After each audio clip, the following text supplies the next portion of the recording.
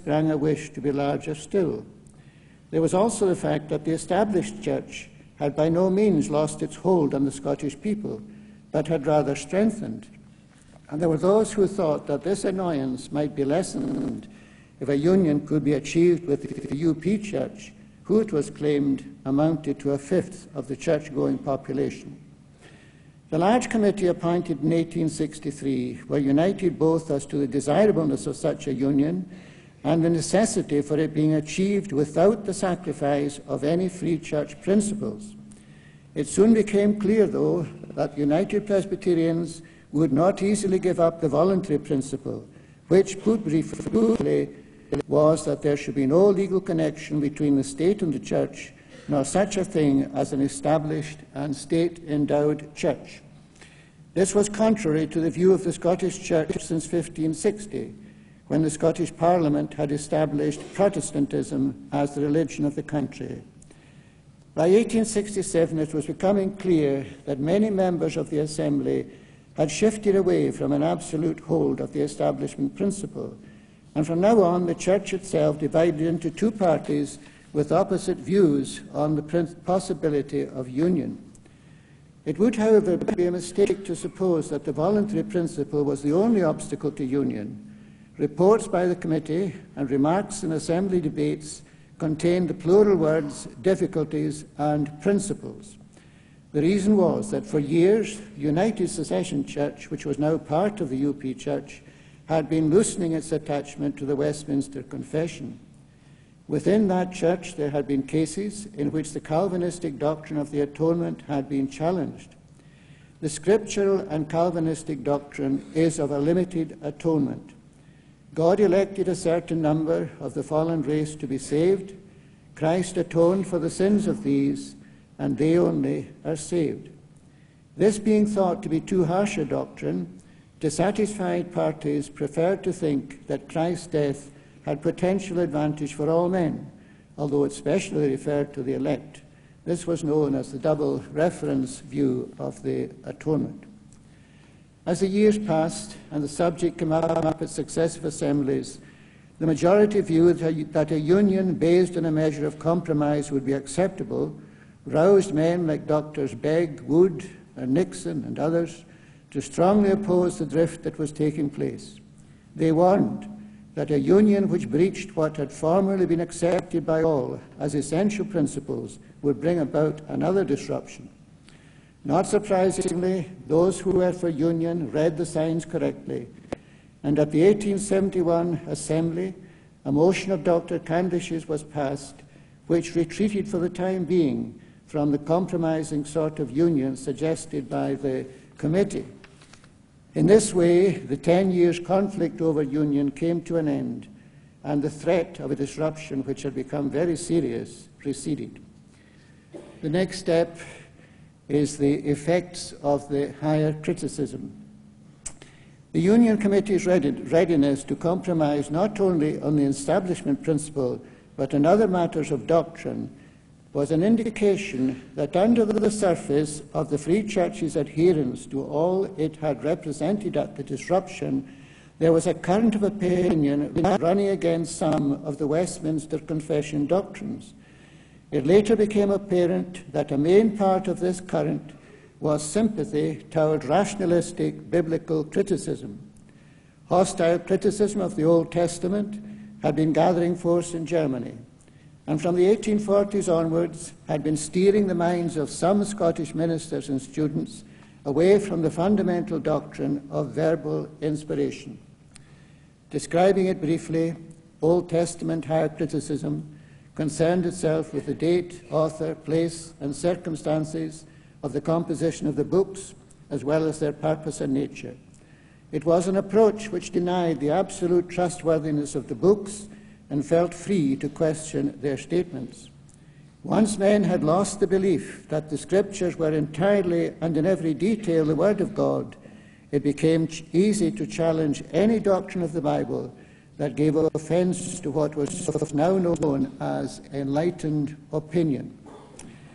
In this connection, it has to be remembered that few, if any, of the disruption ministers had been affected by the higher criticism. but by the late 1860s, a number of notably faithful men had been taken away to their reward. Another sign of deterioration, both in doctrine and in discipline, was the case concerning Reverend Walter C. Smith, which came by appeal to the 1867 General Assembly. In the previous year, the Glasgow Presbytery had unanimously found Mr. Smith guilty of heresy by preaching against the binding obligation of the moral law and the place of the Old Testament in the Christian era. The Assembly voted heavily for a motion by Dr. Rainy, which accepted the correctness of the Presbytery's findings yet contrived to prevent Smith from being disciplined. This decision was the forerunner of others in very serious cases, which showed that more and more members of the courts of the Free Church were of what was euphemistically called a liberal mind, but what was really an anti confession attitude. Now, that brings us to say a little about Dr. Robert Rainy.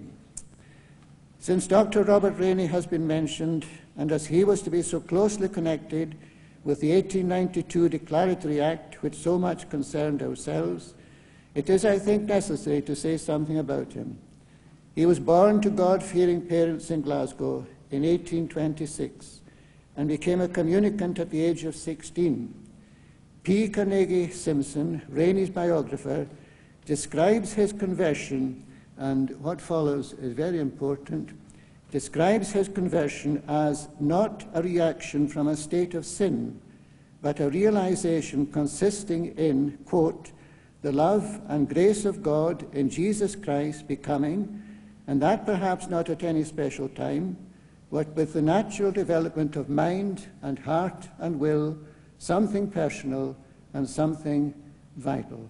I'm going to read that again. He describes his conversion as not a reaction from a state of sin, but a realization consisting in, quote, the love and grace of God in Jesus Christ becoming, and that perhaps not at any special time, but with the natural development of mind and heart and will, something personal and something vital. End of quote. When considering whether it is possible to square this description with the normal definition of effectual calling, it has to be remembered that the youth whose entry into spiritual life is thus described went on to a life in which doctrines he once professed to believe were quietly exchanged for others of an unscriptural sort. Not only so, he led the Free Church away from its original position into a union which led to the general adoption of doctrines very different from those of the Westminster Confession of Faith the inevitable result of those modern doctrines can be seen throughout Scotland today. In the enthusiasm of the disruption year, Robert Rainy decided to become a minister. He proved a diligent student, and after a short ministry at Huntly, was removed by an assembly decision to the Free High Church in Edinburgh in 1862. In 1874, the year after Dr. Candlish's death, the Assembly elected Dr. Rainy to succeed Candlish as principal of the new college. Again and again, Carnegie Simpson calls Rainy the leader of the Free Church after this point. He had a large following who accepted his views as correct and went where he led. Thus, it was Rainy and his party who shaped the Church's course for the next 20 years with what we can only regard as disastrous consequences for the majority of Scotland's nominally Christian people. The next step was the quest for disestablishment. In 1874, the Disraeli's Conservative government passed the Abolition of Patronage Act. Patronage had, of course, been at the bottom of the trials which led to the disruption. Unhappily, when seeking this measure, the established church did not acknowledge the wrongs done by the enforcement of patronage on those who had to leave and form the Free Church. And what was almost as bad, they made clear their hopes that the removal of this obstacle would incline people to forsake the Free Church and return to the improved establishment. In the Free Church, there were two responses to the Abolition of Patronage Act. The party who were becoming known as the Constitutionalists